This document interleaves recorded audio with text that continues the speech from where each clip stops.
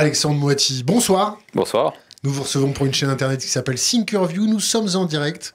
Est-ce que vous pouvez vous présenter succinctement?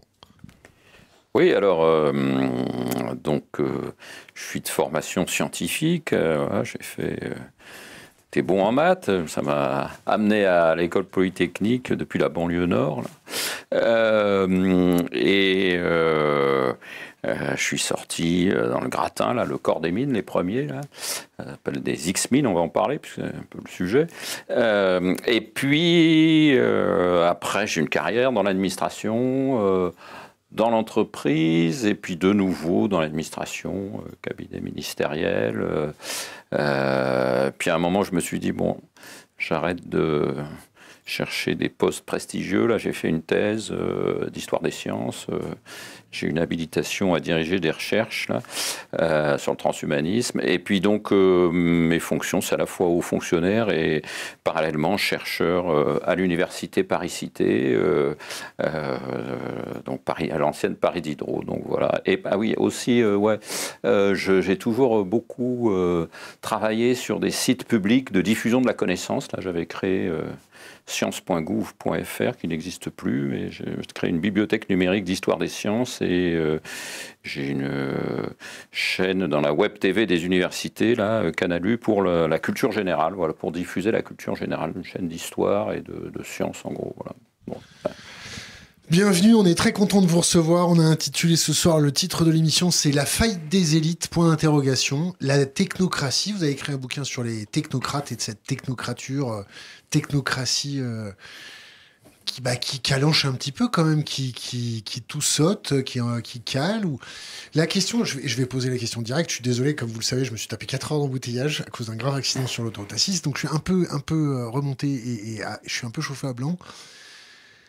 On voit bien que le pays part à en termes d'investissement, d'anticipation, que ce soit à l'hôpital, les autoroutes, le système énergétique, l'anticipation de l'inflation, de la guerre économique.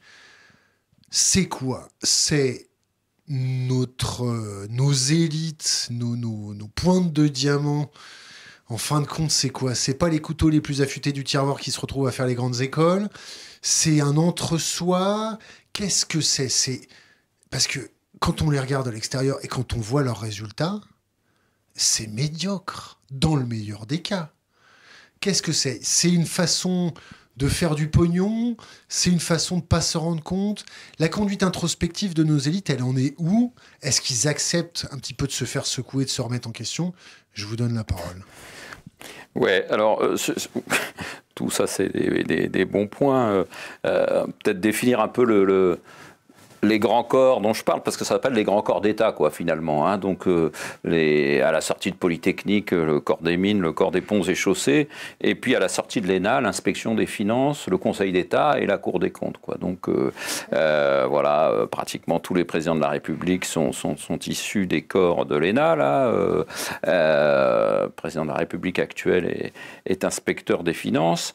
Bon, c'est des corps qui tiennent le pays. En effet, l'inspection des finances, par exemple, elle tient les banques françaises euh, euh, depuis la libération et même euh, pendant sous l'occupation aussi. D'ailleurs, sous l'occupation, c'était un peu le, le le triomphe des technocrates, on va appeler ça les technocrates, puisque le pouvoir politique était discrédité en 1940. Je fais un peu d'histoire aussi, donc voilà. Bon, pour revenir au point actuel, euh, bon, il y a une certaine, euh, euh, oui, sûreté de soi, une façon d'être sûr de soi qui, qui, pose problème, je pense, et c'est critiqué pour le président de la République actuelle. Je, cite juste euh, dans la troisième page de mon livre, je cite un truc quand j'étais à l'Assemblée du Corps des Mines, c'est Monsieur Macron, euh, qui était ministre des Finances à l'époque, qui dit, euh, il arrive, il rentre en- dans la salle, c'est le Corps des Mines auquel il s'ad- auquel il s'adressait et l'inspection des finances, c'est caste habilité à la direction des grands groupes. Donc je sais pas, j'ai noté parce que vraiment, euh, d'habitude je compte sur ma mémoire, mais là ça m'a tellement estomaqué que j'ai vraiment noté tout de suite. Euh, j'ai le papier toujours. Et, donc voilà, c'est une façon de voir les choses. C'est comme si on était des, c'était des castes qui sont seuls habilités à la direction des grands groupes français. Donc si on pense comme ça, c'est à la fois c'était pour flatter son auditoire, mais c'était aussi pour euh, parce qu'il le pense profondément en fait. C'est un câblage en fait. Donc voilà. Euh, euh, c'est cette euh, certitude de soi qui me paraît un petit peu. Ouais, allez-y, allez-y. Cette certitude, pourquoi voir le mal? Parce que si c'est l'élite de l'élite, le top gun de l'administration qui vient s'occuper, comme un bon père de famille, de nos grands groupes pour faire rayonner la France si ça se passe bien, c'est normal qu'on mmh. s'adresse oui, bien sûr, bien sûr, bien sûr, Il y a des, exemples. Et puis, protéger nos grands groupes avec des gens formés correctement au renseignement pour éviter de se faire écraser, instrumentaliser ou de les faire chanter, c'est bien aussi qu'on ait des gens opérationnels. On n'en rencontre pas souvent d'ailleurs des comme ça qui sont formés à éviter de se faire attraper ou ainsi de suite. Ou sinon on voit des hommes de paille de la DGSE occupés de, des places dans des grands groupes. Je vois que ça vous fait sourire. Non, non, je ne suis pas un spécialiste d'intelligence économique, moi, mais il est vrai que bah, vous les connaissez mieux que moi, les affaires d'Alstom de, ou même euh, les amendes BNP, etc. C'est justement des grands groupes euh, euh, qui ont à leur tête des, des corpsards, comme on dit. Mais bon, vous avez raison, c'est vous qui décrivez aussi un, un, panorama assez négatif aussi. Donc je, je, négatif? C'est vous qui avez le pays. Oui, oui, oui, tout à fait. pourquoi, dire que c'est négatif? C'est réaliste. Oui, c'est réaliste. Que ce soit positif ou négatif, le résultat est là. Oui, La dette française, c'est 3 000 milliards. En termes de guerre économique, c'est euh, turlututu, chapeau pointu, euh, euh, bretelles, sans crème solaire, sans bob à la plage et je me fais tanner la peau. Ça ressemble un petit peu à Michel Blanc dans Les Bronzés, non? Oui, oui, bah, je, je euh, et même. La mise en question de ces gens-là, c'est comment? Oui, alors, la dernière mise en question, il y en a très peu, ça. Mais je vous cite juste quelques, ce que j'appelle des bérésinas industrielles et financières, quoi, parce qu'il faut les, faut les donner quand même. Donc, euh, euh, bon, les amendes Alstom, les amendes BNP, ça c'est autre chose, mais bah, France Télécom, on a oublié, on parle beaucoup de Didier Lombard, mais avant, il y avait un inspecteur des finances qui s'appelait Michel Bon en 2002, par là. Attention, pas de diffamation, pas de mais, ça, il n'y a, a, pas de problème. Ça a été lui-même a dit qu'il avait fait, euh, il avait fait des erreurs d'appréciation et donc ça, il a dit à son conseil d'administration de s'est documenté tout ça. Donc euh, il a perdu son, il a arrêté d'ailleurs euh, et il fait d'autres choses très bien en philanthropie, etc. Tant mieux pour lui. donc voilà. En même temps, il y a eu ces affaires aussi de, de, de dégringolade de Vivendi avec un inspecteur des finances aussi, Messier. Enfin bon, voilà. Pas citer des, ribambelles de noms, mais il y a eu euh, euh, Areva, Alstom d'une certaine manière, le Crédit Lyonnais, euh, Péchinet. Je discutais avec des jeunes qui étaient, qui sont à l'école des mines. Hein, euh, civil des mines, c'est encore un truc différent du corps des mines. Eh ben, ils connaissaient même pas le nom de Péchinet. Je rappelle que l'aluminium a été créé en France. L'aluminium, c'est Sainte-Claire-de-Ville, euh, c'est euh, le four Héroux, et, ça vient des Baux-de-Provence, la, la, bauxite près d'Aix-en-Provence. Et la France était très forte en aluminium, et Péchinet était bradé, c'était un X-Mine qui était à la tête de ça. voilà, donc il y a désindustrialisation, elle est à analyser aussi en, perte de substance de nos grands groupes, hein, y compris hein, dans la sidérurgie aussi. On peut, on peut regarder ça de manière. Euh, euh, voilà, donc. Euh, je peux couper encore? Ouais, ouais. J'adore discuter avec les, politiques, les politiciens parce qu'on peut bien les secouer, ils résistent bien à la pression. c'est une forfaiture, une forme de forfaiture, ou c'est de l'incompétence caractérisée? Bah, Qu'est-ce que ça veut dire forfaiture pour les jeunes qui connaissent pas le mot? Oula, vous me demandez des définitions de forfaiture, c'est vraiment, euh, pour moi, c'est euh, euh, aller à l'encontre des objectifs, aller à l'encontre complet des objectifs qui vous ont été fixés. Par, avec un sens d'intérêt public, c'est-à-dire des, des, intérêts publics nationaux, etc. C'est ça une forfaiture pour moi. Donc, je ne sais pas si on peut parler de manière aussi, aussi forte de ça. C'est la question. Oui, oui. donc, les boîtes en question, il y a, c'est multifactoriel. Ce que je remarque, c'est que il n'y a en effet jamais de remise en question. Ça, c'est.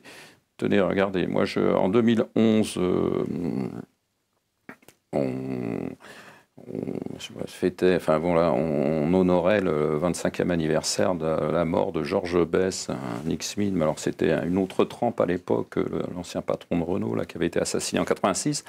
Et, j'avais dit, euh, notre, monde des, de polytechniciens et des grands corps ne peut pas se permettre de faire l'économie de, ce que sont devenues ces sociétés-là aussi. Qu'est-ce qu'est-ce qui s'est passé quoi, euh, euh, à partir de, bah, de 2000, 2010 euh, Voilà, donc une désindustrialisation massive.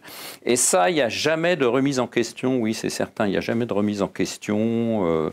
c'est toujours les mêmes qui président les tables rondes dans les, cocktails et les déjeuners. Euh, alors qu'ils ont gravement failli. Euh, Je pas jusqu'à forfaiture, mais ils ont gravement failli. Donc euh, voilà. Et puis. Dès que les élites se sentent menacées, dès que ces élites se sentent menacées, elles disent Ah, bon, on va faire la diversification sociale. Vous voyez, un peu à la Bourdieu, en fait. Hein. Et il y avait un, y a un sociologue américain, type remarquable, hein, qui s'appelle Esra Suleiman, qui en 78, euh, on y reviendra. mais s'il vous plaît, maintenant. Ah d'accord, ok.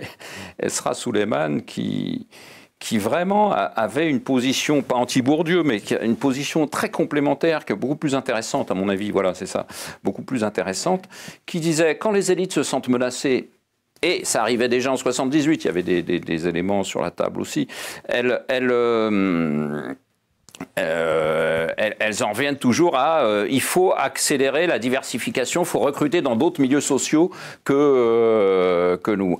Et en fait, c'est une manière de se poser, de, de dire, de jamais se. de focaliser le débat sur le recrutement, vers quels milieux sociaux on recrute, pour éviter de mettre le débat sur les résultats, sur les, euh, est quelles sont les erreurs des élites, etc. Quelle est la légitimité? Pourquoi les recrute-t-on comme ça? Voilà. Donc je ne sais pas si je m'exprime correctement, mais c'est. C'est quoi d'autre aussi? Il ah que les élites euh, n'acceptaient pas de se faire remettre en question concernant leurs compétences, leur utilité, leurs résultats effectifs. Ouais, voilà. Je vais prendre trois, un trépied, je vais prendre. Le recrutement, le premier, c'est le recrutement, la diversité sociale. À l'époque. Technicien, parce qu'un trépied, c'est forcément trois. Hein. Euh, ouais, ouais, mais oui, mais quand même chez le geste, là. je sais, euh, donc, euh, je vais essayer de faire l'image correcte. Le, le, premier point, c'est le recrutement, la diversité sociale. Avant, on parlait de fils d'ouvriers, maintenant, on va parler, il n'y a plus d'ouvriers, donc on va parler de, de diversité, etc. Bon, ça, c'est le premier point.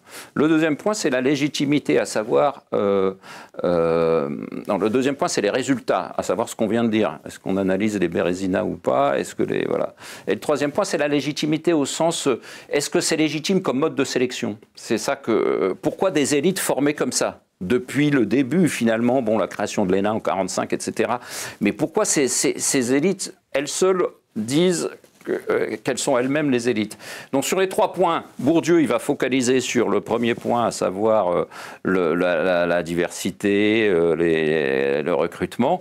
et Suleiman, il dit, mais c'est les deux autres points qui sont beaucoup plus importants, parce que si on fait venir un fils d'ouvrier, on va dire pour être vite, là, il va complètement adopter le mantra des, autres, si vous voulez. Ça n'a pas tellement de sens. La, diversité, c'est important, mais c'est beaucoup plus important important de, se demander quels sont les, les, résultats dans les entreprises, dans la politique euh, de, ces gens-là, quoi, puisque c'est eux qui tiennent aussi le, pays politiquement. le journalisme, peut-être moins, ça fait appel à des, des des, des, Enfin, c'est autre chose, mais c'est surtout le monde de la, de la, grande entreprise et le monde politique où il y a ces membres de grands corps, quoi. Voilà. Et donc, euh, euh, bon, il y a très peu de, de remise en question, de, disons, de voilà, euh, d'analyser.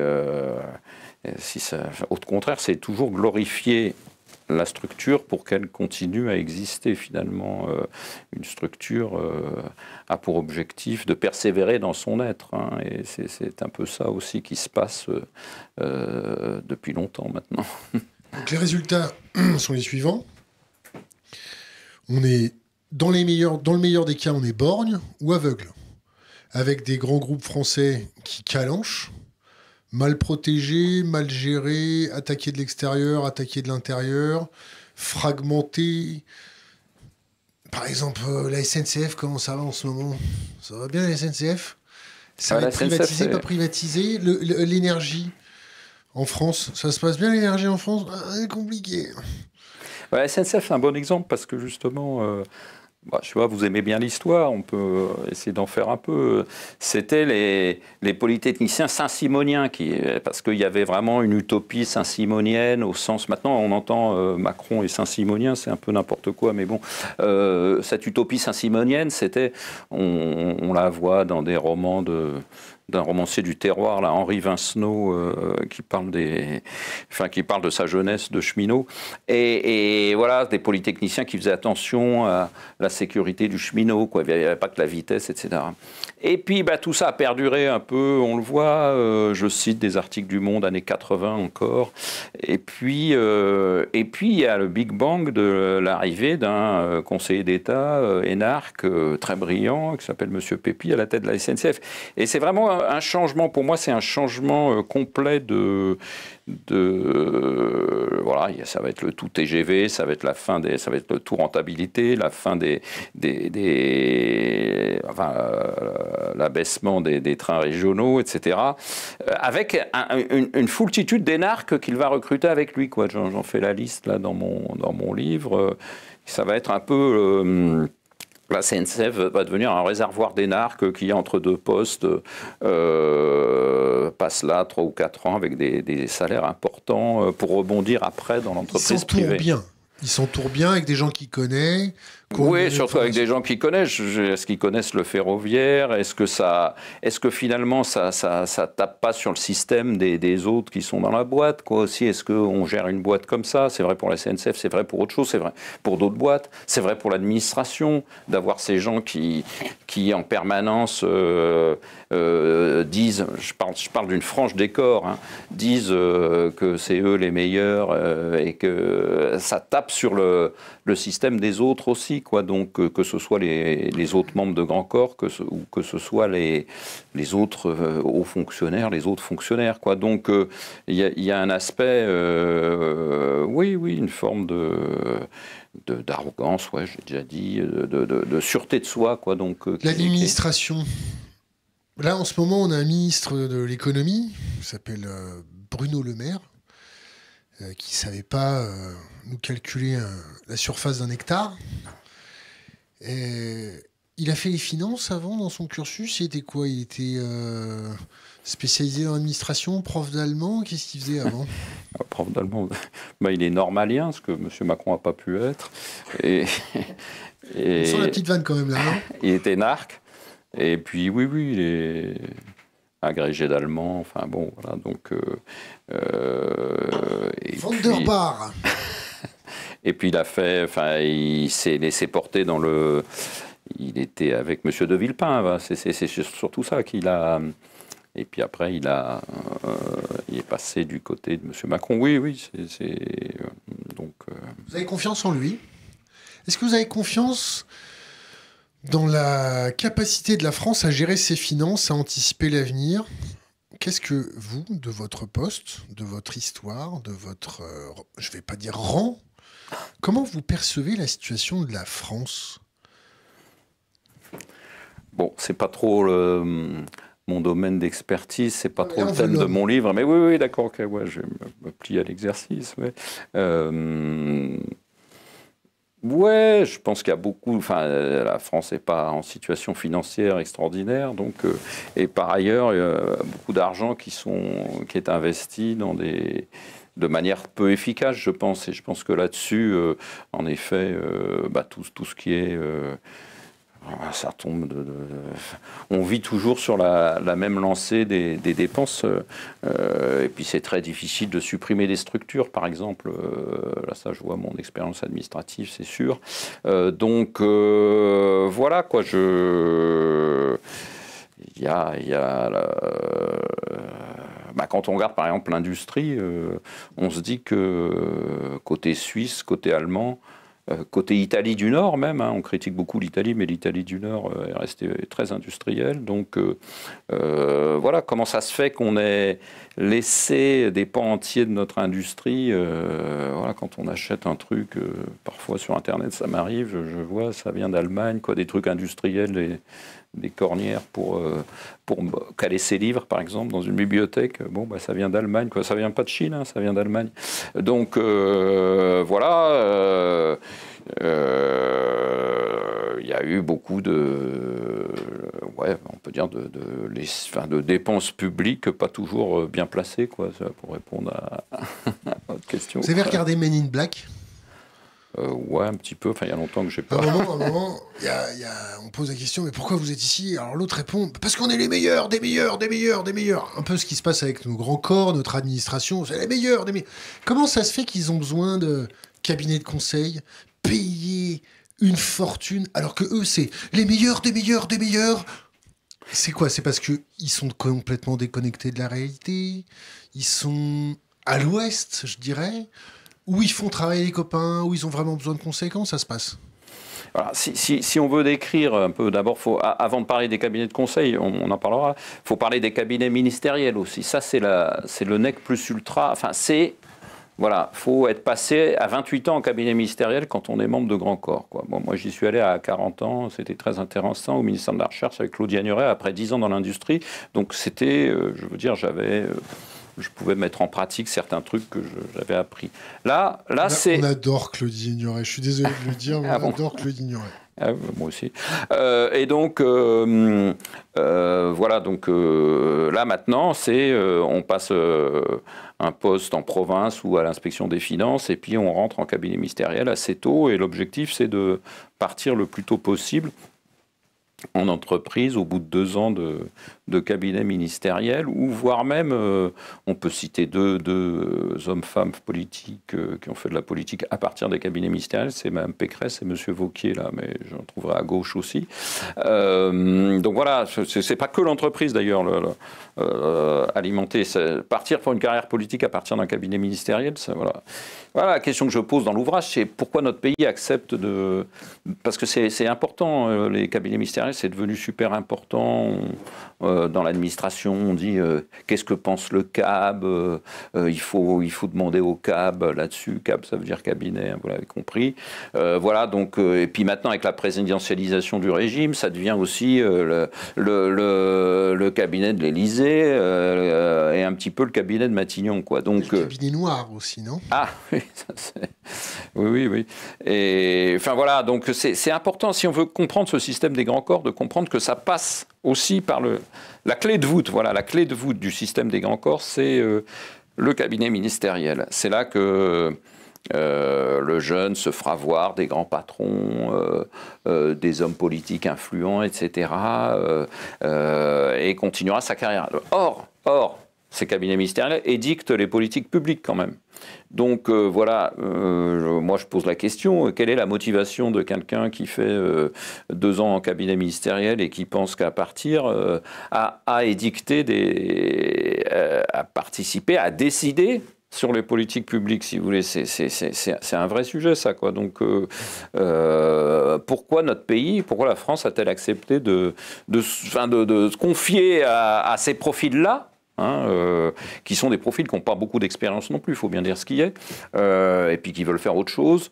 Euh, de, pourquoi la, confier à ces profils-là l'élaboration des politiques publiques? C'est un vrai sujet, ça. Hein. Donc, voilà. Alors, vous disiez les cabinets de conseil, ça, c'est autre chose, mais c'est pas autre chose, en fait.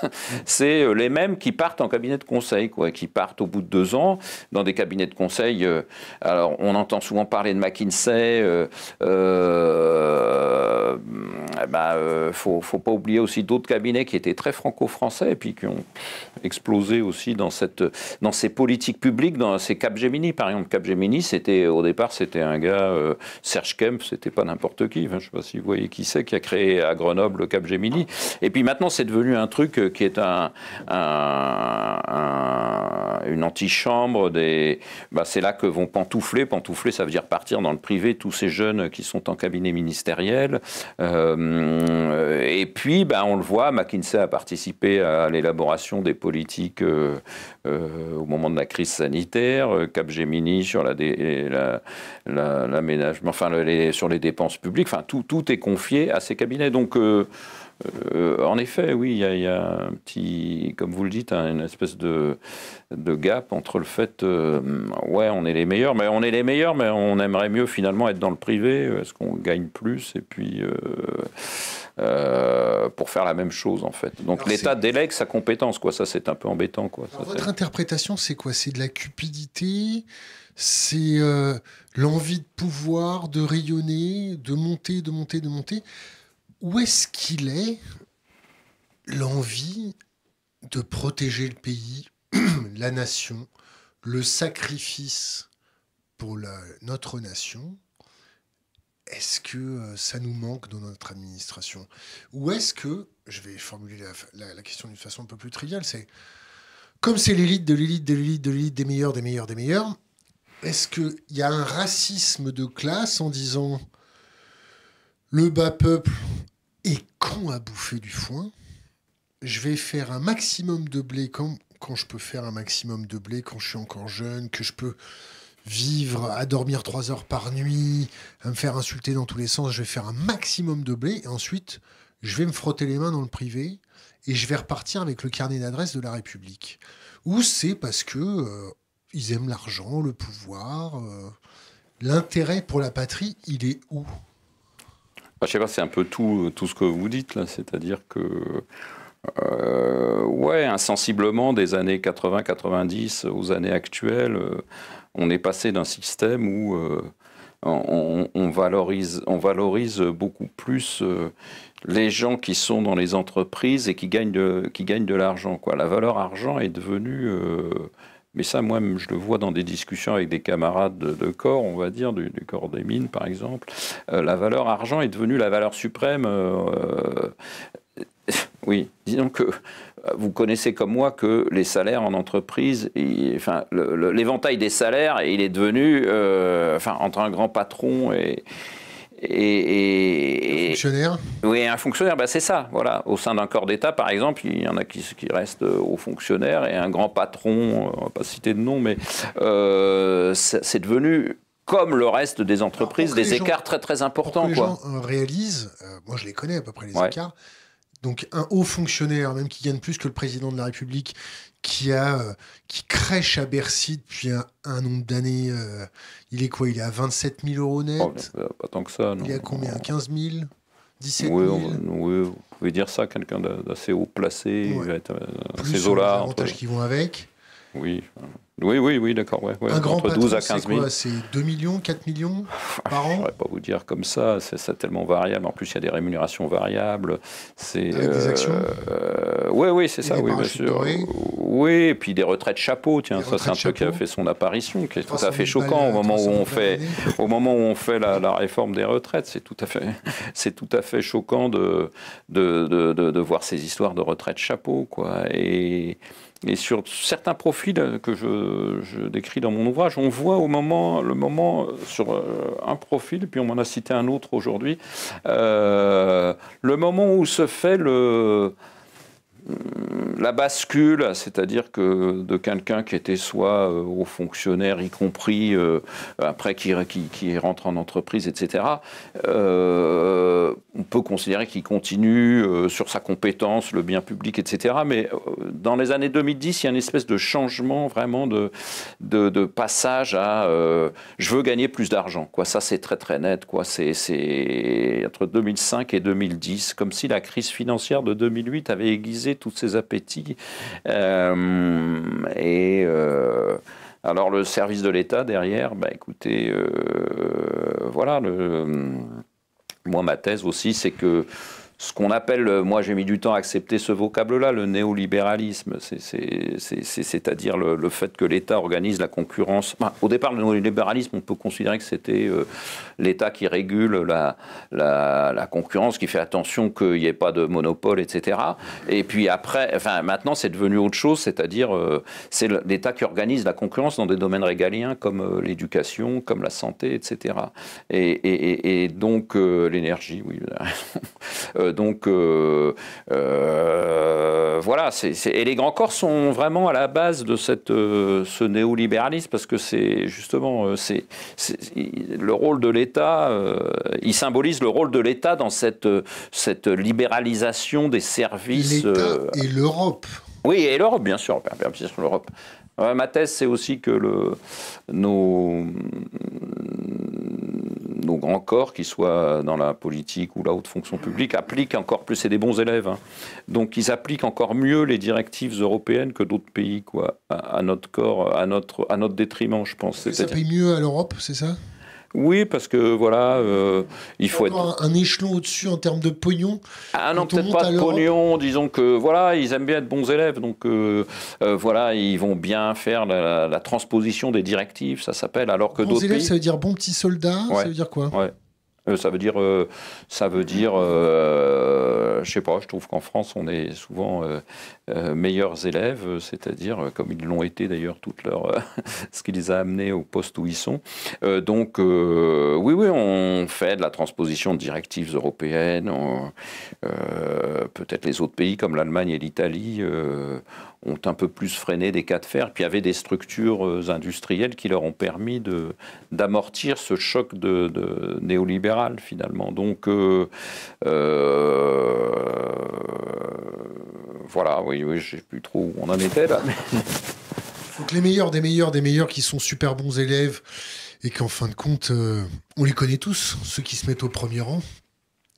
En général, c'est pas les plus intelligents, c'est ceux qui, qui travaillent, qui travaillent, qui travaillent, qui travaillent, qui travaillent. Ça fait des bons petits soldats, mais en termes de raisonnement, c'est pas les couteaux les plus affûtés du tiroir. Bah, je vais vous citer un truc euh, qu'il y a dans le bouquin d'un collègue, Emery, je le cite, euh, Emery Douzance. Il appelle ça, euh, c'est la fabrique des énarques. Il dit, pour sortir dans les premiers... Bah, D'abord, l'ENA, c'est fait que pour faire le classement. C'est-à-dire, c'est fait que pour les 15 premiers. Les, les 50 autres, on s'en fiche un peu, ils seront administrateurs civils dans différents ministères. Donc l'ENA ne sert qu'à distinguer les meilleurs d'entre les meilleurs. Et même, je pense, au sein de ces inspecteurs des finances, qui sera le Macron, etc. Euh, donc, euh, et il dit, euh, pour sortir bien... D'abord, il porte une critique très sévère sur le... Il dit, toute l'administration de l'ENA, c'est fait pour ça, quoi. Donc... Euh, pour s'occuper du classement des 15 meilleurs. Et il dit, pour être dans les 15 meilleurs, les 15 mieux classés, euh, euh, ou les 10 mieux classés, il faut être à, la fois dans le moule, c'est-à-dire, ce n'est pas question un seul moment de contester quoi que ce soit sur les, soit les politiques publiques, mais même contester quoi que ce soit sur l'enseignement, etc. À la fois ça, mais à la fois savoir taper sur le petit copain au moment, au bon moment, quoi. Et si vous voulez, vous avez, euh, c'est-à-dire voilà, dans des dans des cours, des discussions, etc. Savoir bang, aligner l'autre. Euh, ouais, est-ce que c'est ça qu'on recherche comme qualité finalement? Ouais, je je suis pas sûr, quoi. C'est un peu ce qui est.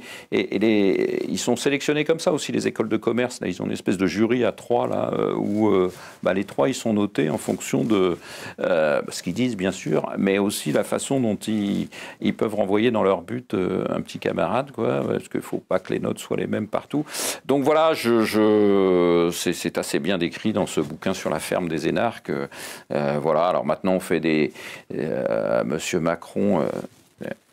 pour vous dire à quel point, enfin bon, moi ça, ça rejoignait, mais Monsieur Macron en 2019, au moment de la vous savez, après la, quand il tire la conclusion de ces longs monologues en région, là, euh, les grands débats, là, les réponses. Rien donné à la fin, c'est ça? Oui. les, les cahiers doléances qui ont terminé la cave. c'est ça. Il fait la réponse aux gilets jaunes, là. Et puis, euh, je ne sais pas si vous vous rappelez, ça avait été reporté d'une semaine, puisqu'il y avait eu l'incendie de Notre-Dame, donc voilà, ça, avait marqué les esprits à juste titre. Et, et donc la première chose qu'il annonce, finalement, quand il parle, la première chose qu'il annonce, c'est « je vais supprimer les grands corps ». Alors c'est très bizarre ça. Les grands corps, c'est ceux que je vous ai cités tout à l'heure, corps des mines, corps des ponts, inspection des finances, dont il est issu lui. Enfin c'est bizarre d'ailleurs de parce qu'un système qu'il a porté lui au pouvoir. Il n'y a pas que lui qui l'a porté. Hein. Oui, oui, oui, bien sûr. Mais euh, disons qu'il doit se dire, tiens, s'il n'y a pas une, forme de, de d'auto-shaming de sa part, de dire euh, le système va pas très bien puisque j'ai pu accéder aux plus hautes fonctions comme ça. Donc il dit je vais supprimer les grands corps. Or, euh, si vous voulez, euh, il n'y a pas grand monde qui sait ce que c'est que les grands corps, comme si c'était la réponse au gilet jaune. Donc un gilet jaune, il ne sait pas ce que c'est que les, grands corps. Et puis, ne vous inquiétez pas, maintenant il sait. oui, oui, d'accord. Il a compris. Il est de se passionner. Oui, oui, ah oui. Euh, et voilà, donc, euh, hum, d'ailleurs, je vais aller plus loin puisque je suis là-dessus, là, tiens, je, c'est dans ma, la première page de mon bouquin, je dis, euh, bon, c'est plus facile à lire qu'à dire, mais... c'est un cas. à attraper votre bouquin et lire. Ah oui, c'est mieux parce que si je le déforme, c'est pas terrible. Vous avez besoin de lunettes? Non, ça va. Je vous autorise à sortir vos lunettes. Ouais, je Pas de coquetterie ici. Euh, euh, Profitez, pendant que vous cherchez ah la page. Non, non, mais c'est bon, je l'ai là. Euh, abonnez-vous à notre YouTube, soutenez-nous sur Tipeee. On a besoin de vous pour continuer et c'est à vous pour la lecture. Voilà, ben, c'est la première page. Que l'élection de M. Macron en 2017 soit une anomalie du système démocratique de la Ve République est un problème. Quand je dis une anomalie, c'est-à-dire devoir choisir entre lui puis une forme d'extrémisme, etc. Enfin bon, euh, dans un scrutin à deux tours où il n'y a plus que deux candidats à la fin, voilà. Donc, euh, euh, donc que l'élection de M. Macron en 2017 soit une anomalie du système de la Ve République est un problème, mais n'est pas notre sujet. Que ce ne soit pas une anomalie du système des grands corps est notre sujet. J'entends par là, j'entends par là que le système des grands corps et de l'inspection des finances, avec le rapport Attali-Macron euh, euh, en 2007 dont il est rapporteur, etc., la, possibilité comme ça de se faire euh, des, des relations, évidemment il n'y a pas que ça, c'est sans doute quelqu'un d'extraordinaire au point de vue de la com et de la start-up qu'il a fondé pour prendre le pouvoir, mais c'est aussi le système des corps et de l'inspection des finances qui... Ici Henri Herman Henri? Henri Herman. Ah oui, oui. Moi, je ne le connaissais pas personnellement. De nom, bien sûr. Allez-y, continuez. Euh, vous me demandez de parler Armand là Non, non, pas Ah bon, d'accord. Euh, ouais, ouais, ben donc, de, voilà, c'est. Euh, c'est. ben, je, je, raconte aussi. c'est. C'est dans le bouquin de. Bon, peut-être pas trop focalisé sur Macron non plus, mais c'est dans le bouquin. Tout ça a été écrit, donc le bouquin de Davel qui n'a pas eu le même succès que pour Hollande, c'est pas Le traître et le néant.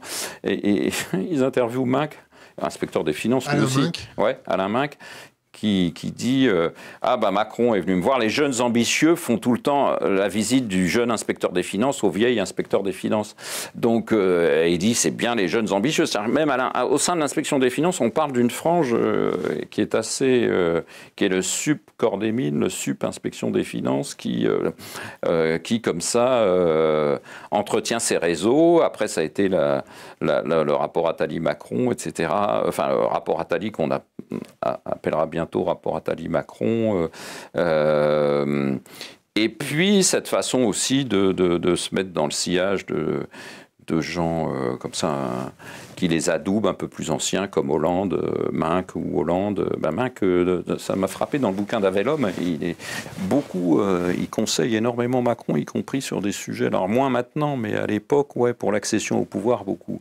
Mais enfin, bon, voilà, je veux pas non plus focaliser sur cet exemple-là, puisqu'on parlait de d'aspects électoraux. Enfin voilà, je voulais vous dire ça, ce, ce, chiasme là, cette phrase là que je vous ai lue, euh, c'est pas une anomalie du système des grands corps. C'est ça qui, ça moi qui m'a entraîné à écrire, euh, en dehors du fait que mon éditeur m'y a poussé, mais et puis parce que je suis là-dedans depuis 40 ans et donc je vois euh, la petite phrase que je vous ai dite là.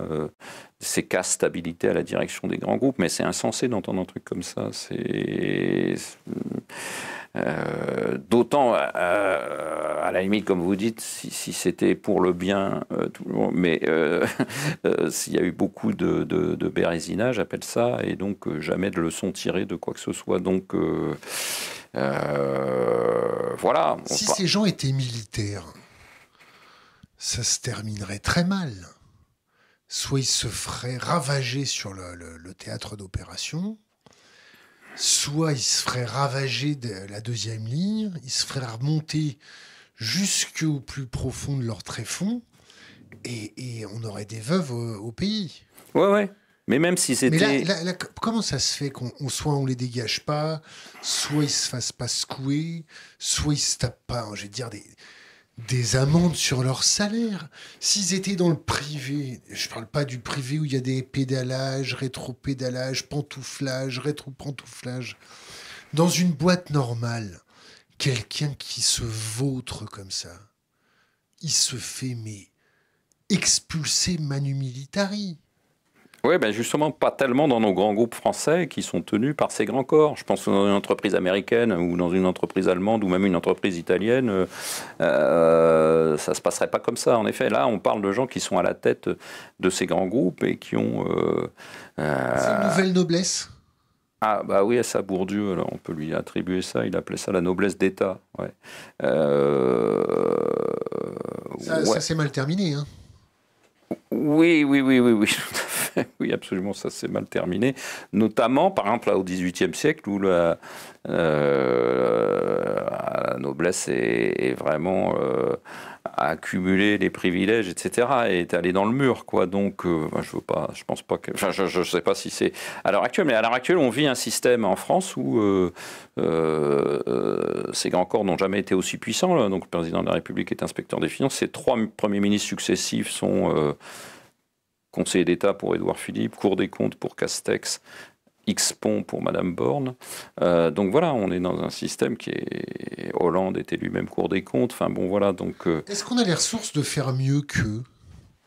Parce que on les vilipende, on les vilipende, on les vilipende. Mais la France, telle qu'elle est en ce moment, est-ce qu'il y a mieux en stock que ça? Ah est-ce qu'on s'est s'est pas tellement affaibli, on s'est affaibli à un tel point qu'on est obligé de composer avec ça?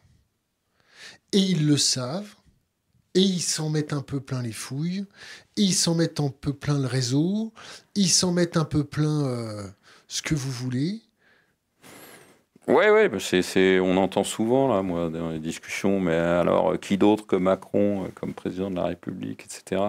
Euh, voilà, quels sont les, bah écoutez, moi je suis plutôt euh, d'un naturel optimiste, saint-simonien. Je pense qu'il faut une refondation complète du, de l'éthique de l'État, de, de, de, reprendre ça. Faucon, ok. Oui, oui, oui, ah bah, oui, oui, oui, d'accord. mais là, là le bateau coule. Le bateau, il y a des trous partout.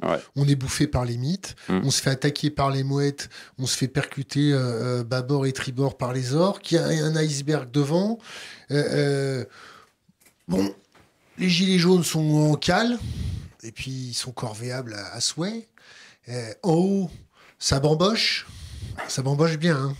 Versailles, maintenir le vernis social, ça, parade avec euh, plein, plein, plein de choses.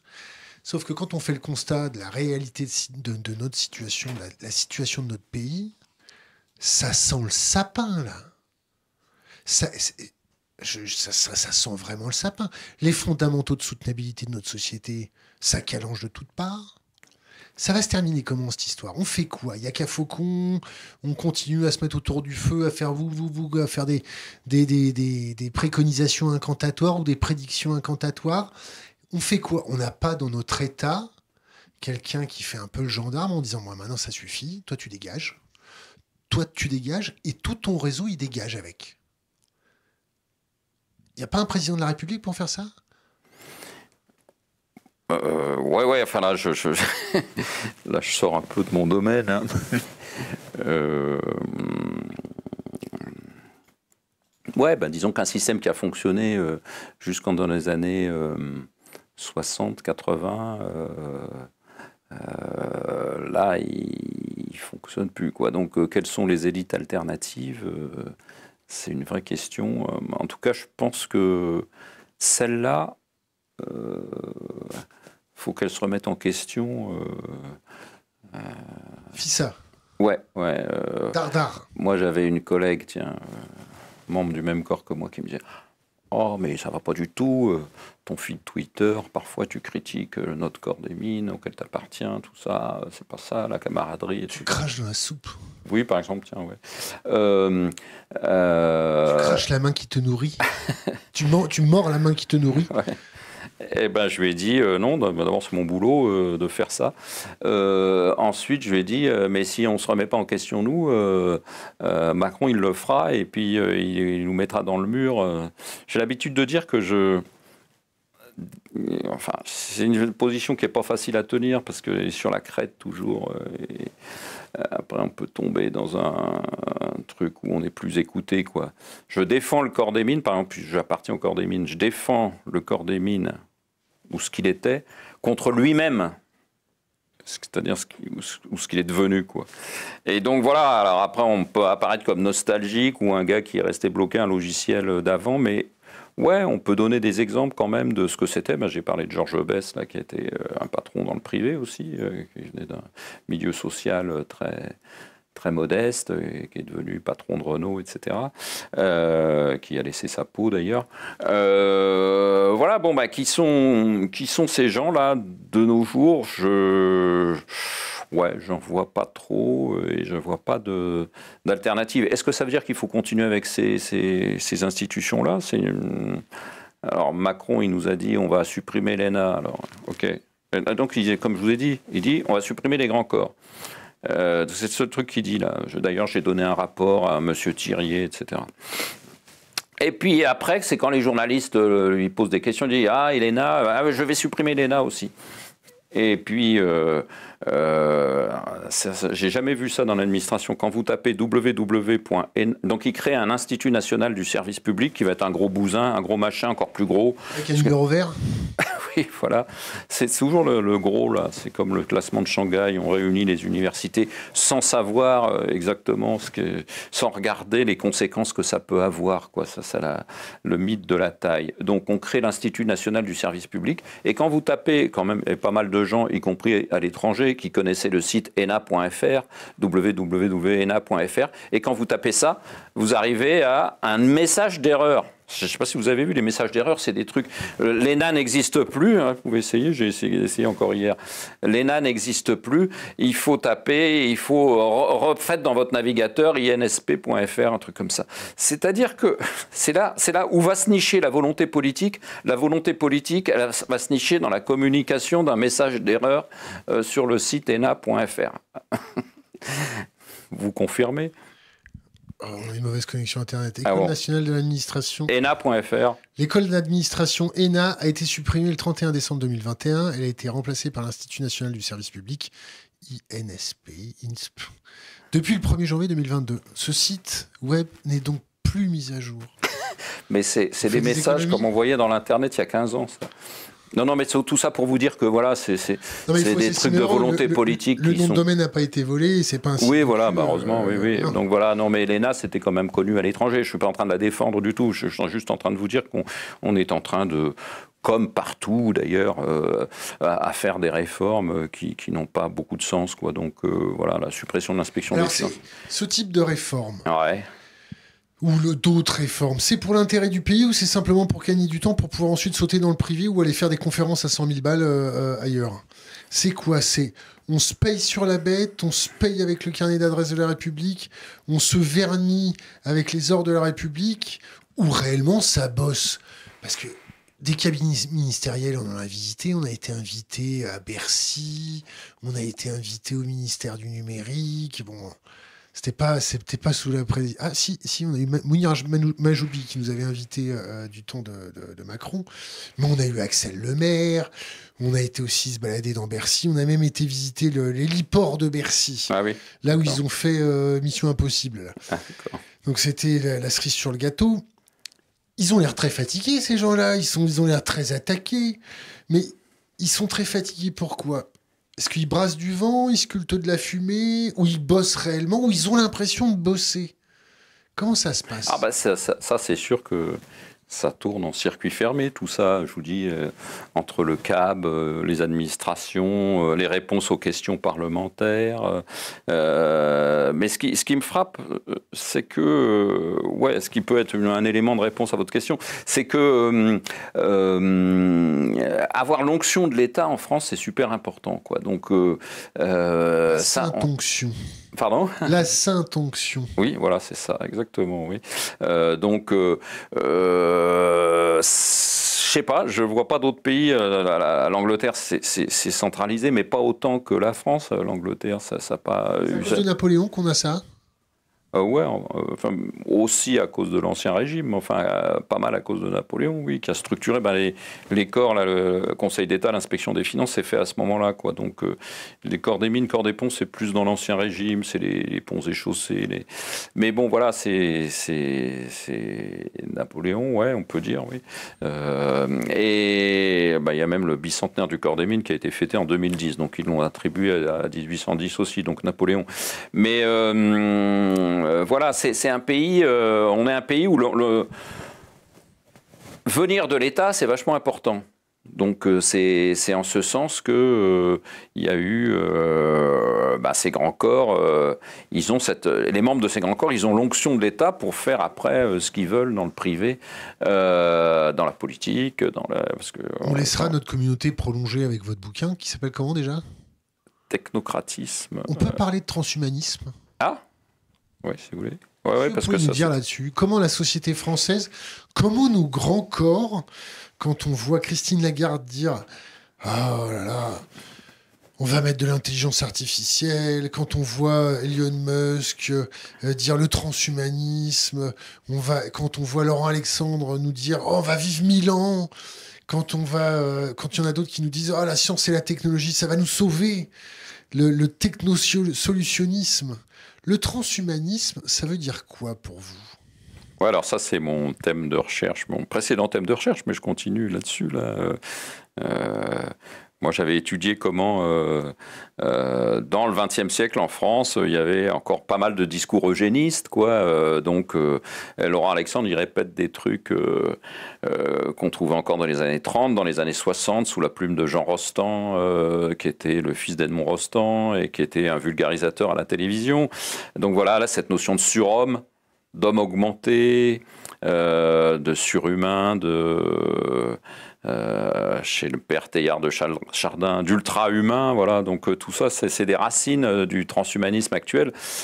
Bon là, ouais, ce qui est plus inquiétant, c'est les, les, les Musk, etc., puisqu'ils sont les Thiel, etc., puisque eux, ils ont des moyens d'action assez importants, ils ont énormément d'argent.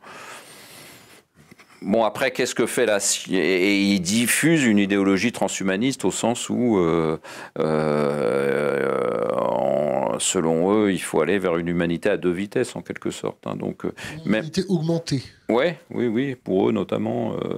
Il y a aussi un bouquin, moi, qui m'a toujours un peu étonné. Son succès, c'est euh, Yuval Noah Harari, Homo sapiens. Bon, alors ça se lit bien. Enfin, moi, je préfère Jared Diamond. Mais ça se lit bien, mais euh, euh, voilà, qu'est-ce qu'il en reste? C'est des, c'est des, voilà, c'est des pensées très, très peu, très peu fertiles, à mon avis, qui Hum, donc voilà, ben des, des, des, Musk, des Thiel, euh, ils ont vraiment une, une, vision d'une humanité euh, à deux vitesses. Ouais, ouais, voilà, c'est ça. Donc. Euh, après, il faut regarder exactement qu'est-ce que fait la science en la matière. Est-ce que. Les macaques, ils avaient quand même un peu mal au crâne avec leur puce. Les qui, les, les macaques. Les macaques des lions de Musk. Ah ouais, je, je, sais pas. Euh, c'est quoi les macaques des Musk là? Il, il, les puçait pour augmenter, pour savoir ah comment ça se passait. bon, c'était des macaques en fin de vie avant, on après lui. Euh, ouais, ouais, donc bon, je, moi je suis plus sur l'histoire du transhumanisme, alors je vais vous décevoir là, mais euh, euh ouais, je, Bah d'ailleurs, c'est très curieux d'ailleurs de voir, euh, pour relier les deux sujets, euh, Monsieur Macron, il reçoit, il y a des photos de lui à Versailles avec euh, Yuval Noah Harari aussi. Alors je, je, comprends pas très bien. Euh. Et puis on déroule le tapis rouge pour ces, grands patrons de la tech. Enfin bon, là aussi, il y a, est-ce qu'il n'y a pas une matière à retrouver une souveraineté euh, industrielle et technologique sur le, sur le sujet de la, de la, hum, bah de la haute technologie. De, voilà. Alors après, il faut se méfier, tous les trucs, euh, on va faire en Europe, le Google européen, le machin, tout ça. Il y a tellement eu de, de, de crashing dans le mur là-dessus déjà que euh, hésite à, à, proposer ça. Mais euh, bon, euh... Google européen, c'était quoi? C'était euh, Quant, c'est ça? Bah, Par exemple, moi j'ai connu autre chose avant, c'était Quero. Quero. ça veut dire je cherche en latin. Moi j'ai connu ça, c'était du temps de Chirac. Alors qu'est-ce qu'on nous bassinait sur Quero Alors pourquoi, pourquoi C'était franco-allemand. Mais Quant, c'est plus scandaleux que Quero. Pourquoi? bah, Je sais pas, il y a eu beaucoup, beaucoup d'argent public investi euh, là-dedans et pour des résultats qui sont quand même très, très. Euh, euh, pas, c'est pas beaucoup ah, je peux pas vous dire là comme ça, euh, il faut ma, ma, documentation là, euh, c'est des une vingtaine de millions d'euros, enfin bon, sur des. Sur millions des... d'euros, c'est rien. Oui, oui, enfin, quand c'est de l'argent public, euh, sonnant et trébuchant. Vous ne confondez pas avec la, la, la, première levée de fonds qu'ils ont fait chez Axel Springer, l'allemand Ouais, bon, bah donc je vous donne pas de chiffres parce que je les ai pas en tête là. Donc, euh, mais voilà, euh, on doit se taper dans l'administration le, le, moteur de recherche Quant, euh, on, euh, alors que c'est pas le plus efficace non plus, quoi. Et Quant maintenant c'est la caisse des dépôts là. Tiens, on n'en a pas parlé avant de la caisse des dépôts. La caisse des dépôts c'est le bras armé de. Il y a beaucoup d'inspecteurs des finances à la caisse des dépôts et c'est eux qui vont investir à la demande de l'État, euh, à droite à gauche sur des entreprises pas de toujours. C'est quoi l'État? C'est nous ou c'est l'État euh... Ah bah non, mais c'est l'État dont on parlait tout à l'heure, quoi. Les, les ministres, euh, Monsieur le Maire, Monsieur Macron, euh, voilà. Et Quant en est un exemple. Et puis c'est aussi la Caisse des dépôts, c'est un truc où vous avez euh, les salaires du privé sans avoir les risques du privé. Alors là, c'est un truc, bah, c'est dans le privé, même chez McKinsey et Capgemini, vous pouvez vous faire virer.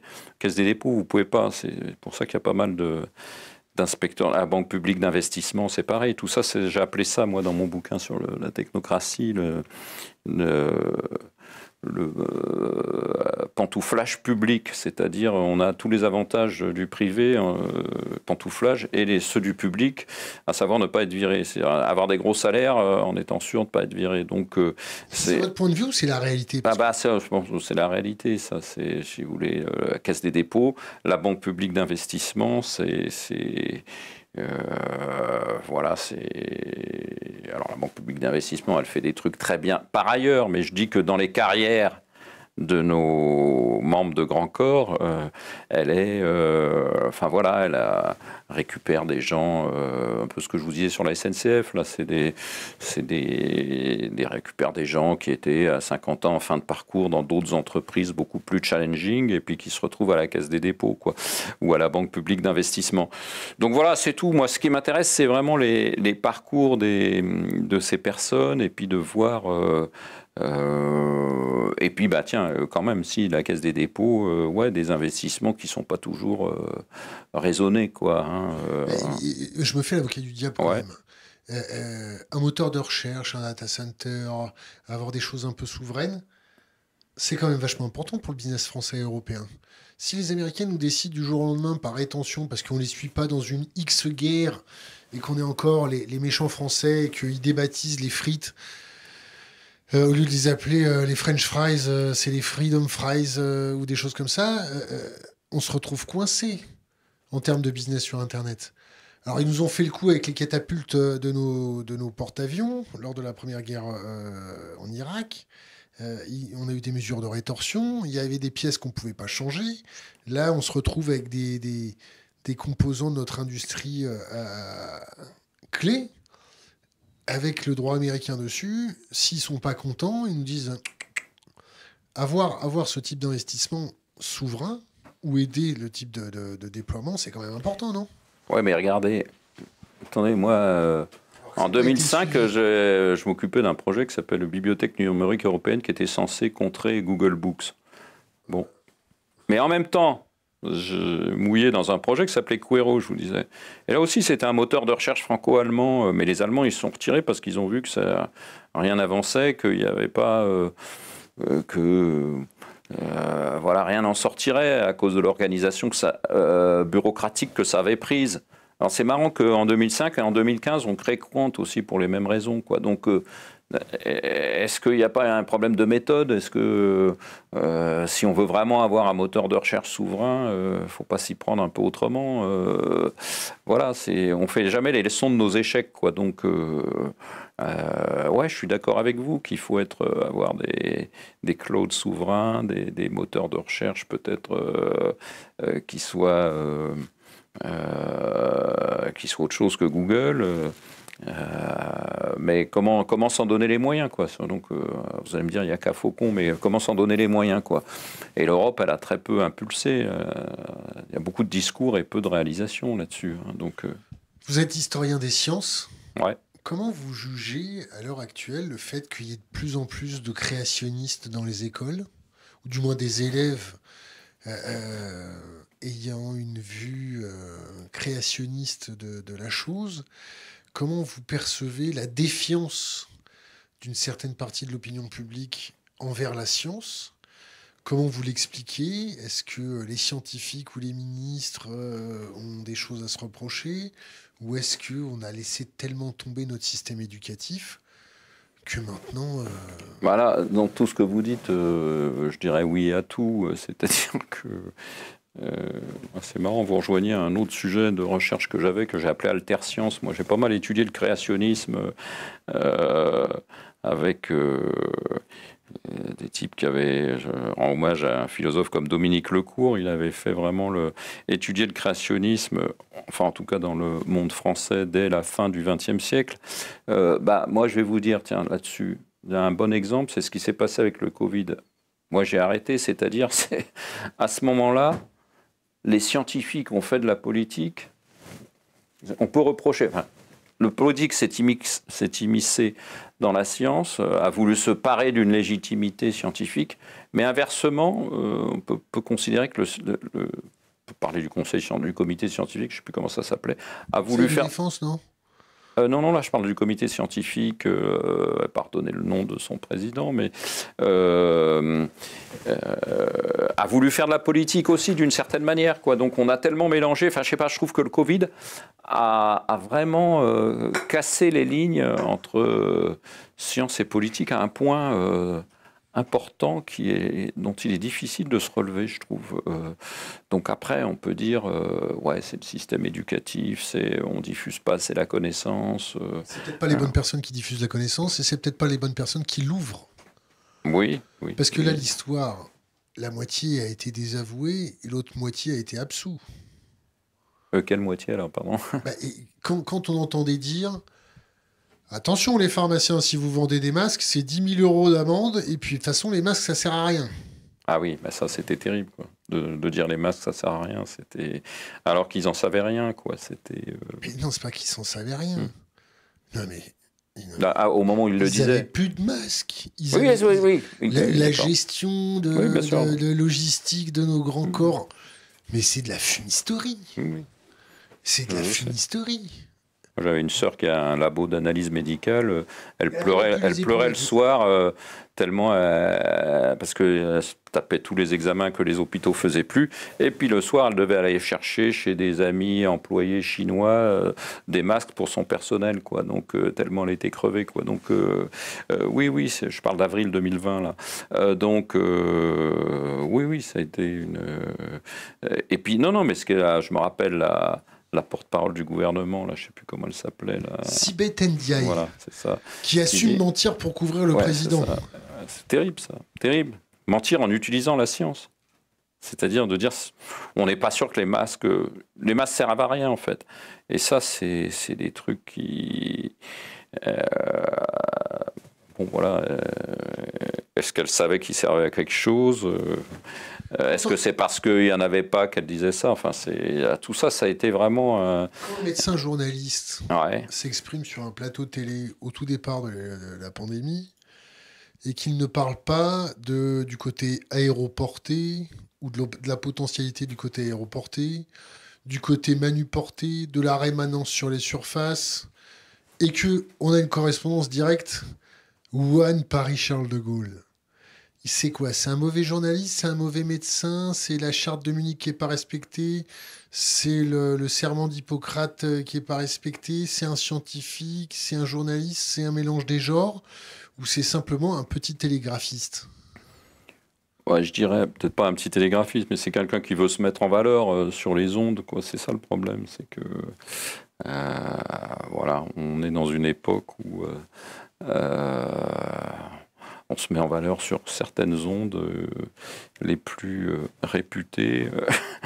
Euh, et puis, on, raconte beaucoup de bêtises. Quoi. Donc, et c'est vrai pour le Covid comme pour d'autres choses. Hein. C'est vrai pour le transhumanisme, c'est vrai pour pas mal de trucs. Quoi. Comment on fait pour combattre la défiance qu'il y a maintenant vers la science? On fait quoi? On continue d'insulter les gens qui sont défiants les traitant de tous les noms, de débiles, de débiles, de plats du front, de conspirationnistes, de machin. On continue de leur cracher dessus en les motivant à devenir encore plus des démons. Ça, ça fonctionne, ça fonctionne pas? Ou on essaye d'être bienveillant, d'avoir un mea culpa, de se dire voilà, on s'est peut-être mal exprimé, on était peut-être perdu, on s'est peut-être Comment on fait pour rester Oui, ben la réponse est la deuxième, bien sûr. Euh, moi, j'ai toujours plaidé que euh, de dire euh, on retourne au Moyen Âge, enfin ce genre d'argument, c'est complètement débile de dire ça, parce que, parce que les gens auxquels vous faites allusion, ils ont aussi des raisonnements. Donc voilà, je, je pense que... Ils ont les qualifications? Parce que quand même... Raisonner, ça ne demande pas forcément des qualifications, raisonner. Non, mais raisonner, avoir sa, sa, propre logique, ne demande pas forcément des qualifications. J'accepte. Hmm. J'accepte. Quand on file du pognon à ces gens-là, du pognon public, qu'il n'y a pas de remise en question sur l'aspect délétère de la chose. Comment hmm. on fait? On continue de leur filer du pognon parce qu'il n'y a que eux sur le pavé? La, psyché des gens, quand il y a une défiance en termes de science ou en termes de religion face à la science, on fait quoi? On continue d'avoir des créationnistes partout, de penser qu'il y a des gens qui ont visité la Lune avec un cheval ailé? On fait quoi? Oui, c'est de, bah, moi, j'ai beaucoup travaillé sur les créationnismes. Alors, je, déjà, comprendre les arguments c'est super important. je veux dire, ne, pas les considérer comme des. Je vous dis, c'est ne pas les considérer comme des. Des arriérés, ouais. ça, c'est très pénible, quoi, de, vraiment de, euh, de, de, critiquer, euh, on va dire, le camp adverse avec ce genre d'arguments, quoi. Donc. Euh, euh, c'est pas de la critique, c'est de la. Oui, c'est de la calomnie. Oui, oui, oui, oui, oui, c'est oui, oui, oui, je suis d'accord. La chasse aux sorcières du 21e siècle. Oui, on peut pas prendre des expressions qu'on veut, c'est de l'arrogance, pour reprendre. Euh, donc, euh, voilà, faut bah, travailler, c'est de comprendre les, les arguments en question, et puis après avoir des, des gens qui, savent expliquer, qui... Euh, est-ce qu'on ira vers moins de créationnistes? Je ne sais pas. Hein, euh, euh, pareil, nos politiques qui disent on n'est plus autant des Amish, etc. Ça veut rien dire de dire ça. Enfin, c'est des arguments qui sont complètement, qui sont complètement ben voilà, faut pas critiquer les gens qui sont d'un avis différent de vous euh, sur ces, ces sujets-là, en les, les, traitant d'amiches ou, euh, enfin, je ne sais pas si vous vous rappelez là, en les traitant d'amiches, quoi. Ça, y a, euh, ils sont bien fendus la gueule, hein, d'ailleurs. oui, oui, quand il y a des problèmes énergétiques, ils vont, ils vont. C'est un peu comme les Nord-Coréens, non Ah oui, oui, oui. donc voilà. Je peux vous couper? Ouais. Question Internet. Comment se porte l'ordre mélien Point d'interrogation. Mais ça, c'est. L'ordre quoi? L'ordre mélien, mais c'est un private joke. Ah bon une, vanne privée. Euh, deuxième question. Nos dirigeants pichent que dalle à la science et à la technique. Mythe ou réalité? Est-ce que nos euh. dirigeants pannent rien? À la science et à la technologie À la technique, pardon. Euh, est-ce qu'on n'en fait pas trop sur l'intelligence artificielle? En, en ce moment Et il cite De Gaulle, je demande à vérifier la, la citation de De Gaulle. De Gaulle, deux points, en France, sans État, ça merdoit. Fermez les guillemets. Vous choisissez une des trois ou deux. Ouais, ouais. Euh, bah, par exemple, je sais pas, euh, les, les- ce que nos dirigeants. euh, un truc que je voulais vous dire, c'est par exemple, moi j'avais écouté Madame Merkel, qui est une ancienne chimiste, hein, parler du Covid à la télé. C'était, c'était tout à fait étonnant, quoi. C'était de, manière beaucoup plus euh, didactique, pédagogique. Je parle de Madame Angela Merkel, qui était chancelière à l'époque, quoi. De manière beaucoup plus didactique que euh, euh, Monsieur Macron, euh, qui prof, non? Hein? Merkel, elle était prof, non? Non, non seulement elle était prof, mais elle était chimiste. euh, Elle est euh, une sorte d'agrégée de chimie, hein, donc euh, elle connaît bien la science. hein. donc voilà, je ne dis pas que les, les scientifiques sont les mieux faits pour être des politiques, mais toujours est-il que dans ce cadre-là, euh, elle avait euh, bon, et puis elle était plus plus populaire, faut bien dire ce qui est. Ouais, je me rappelle plus les autres trucs, pardon, parce que je voulais. De Gaulle. Ah oui, De Gaulle. c'est la mer- Ça merdoit. En France, sans État, ça merdoit. Ouais, bah écoutez, euh, oui, De Gaulle, c'était. euh,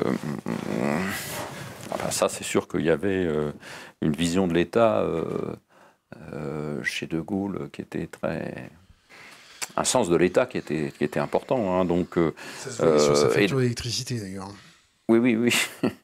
Et puis, voilà, c'était pas.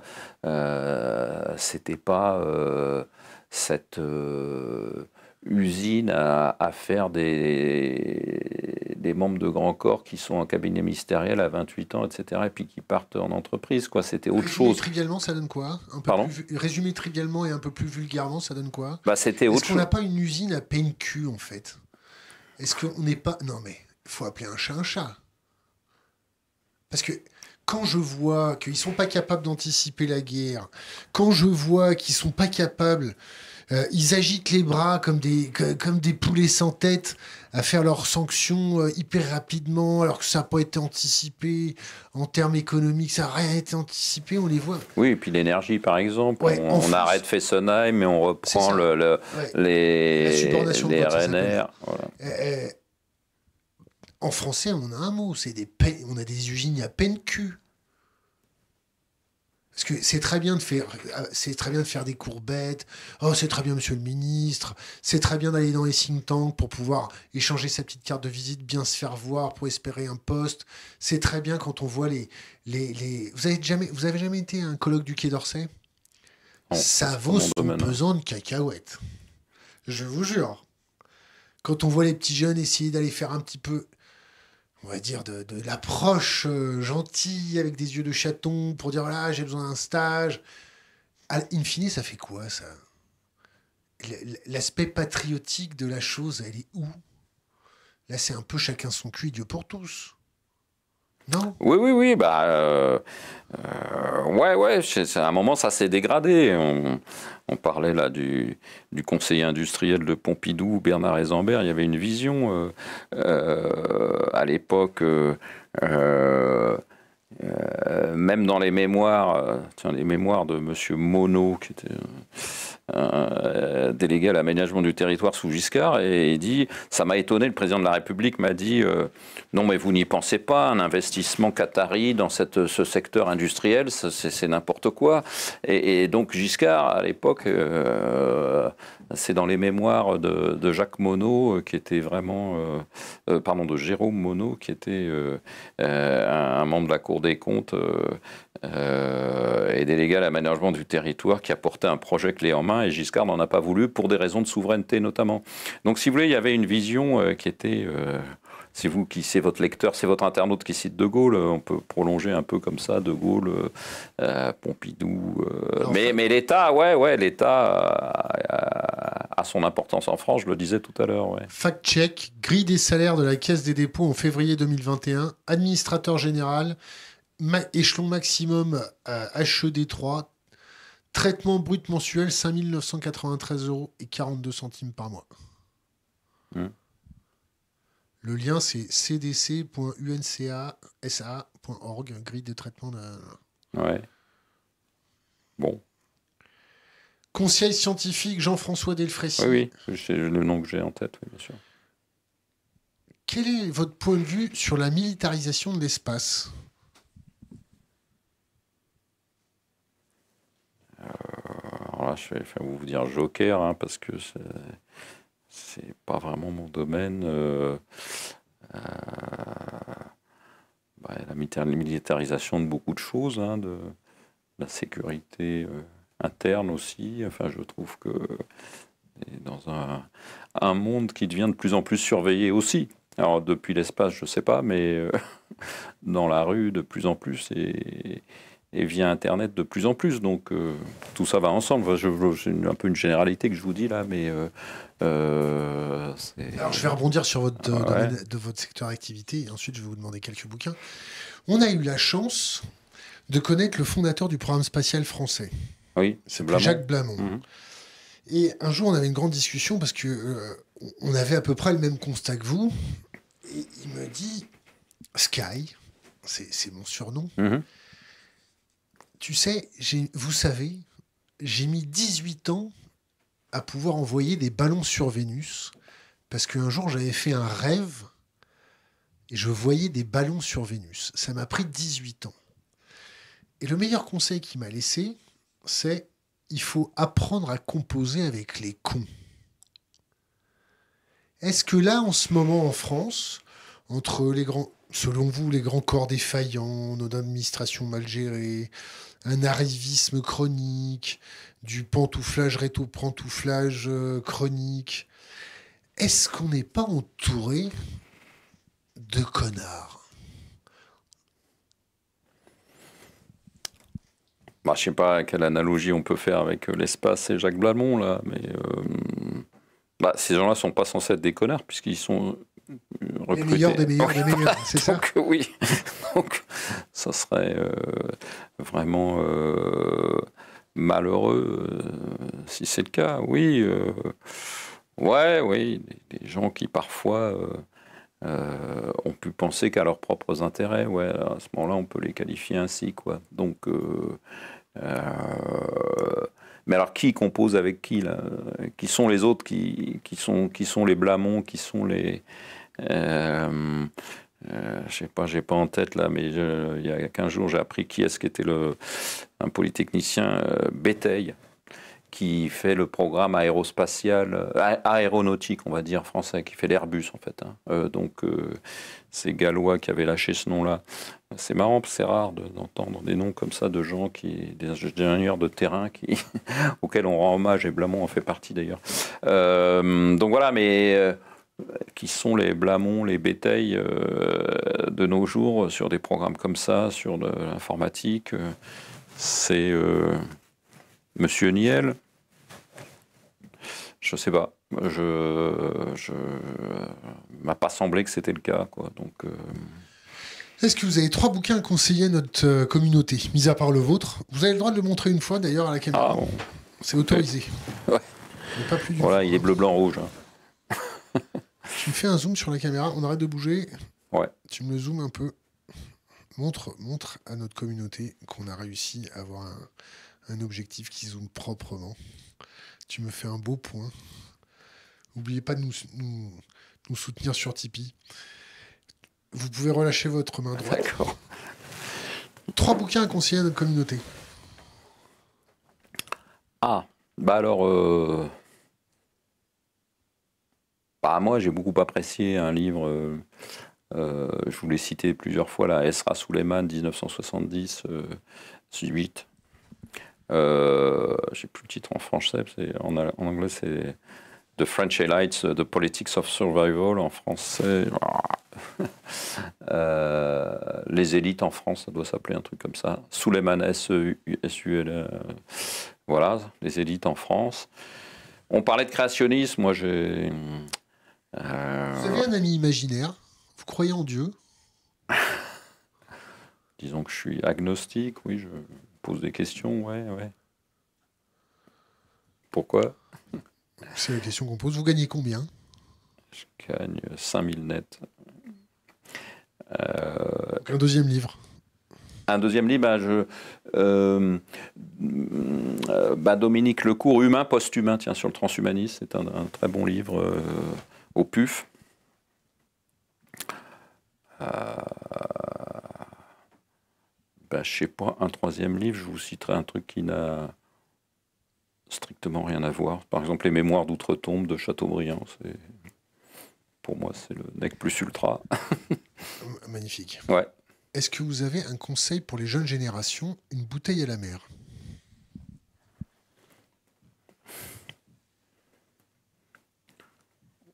Ouais, je sais pas, c'est chacun euh, dans son jeune âge doit, enfin dans son jeune âge à partir de 10 ans doit essayer de s'intéresser, de, c'est difficile. Hein, pas forcément être bon à l'école, quoi, mais de, garder des centres d'intérêt, d'avoir des, des trucs qui creusent, quoi, sur lesquels il, il se voit comme. Euh, pas qu'il se voit, euh, pas qu'il se représente, mais il, fait un travail, on va dire, de recherche à 10 ans, ouais, je sais pas, quelque chose qui, creuse, qui sache creuser, quoi, qui. Ça peut être de la musique, ça peut être euh, de l'informatique, ça peut être. Ouais, c'est ça, d'avoir des, des passions euh, dans le domaine de la connaissance, ouais. Voilà, ah, ça ne veut pas dire qu'il ne faut pas jouer par ailleurs, quoi. Non, mais je veux dire, euh, voilà, ce, ce conseil que vous me demandez à, à des jeunes, je le formulerai comme ça. Alexandre Moiti, merci. Merci. à vous.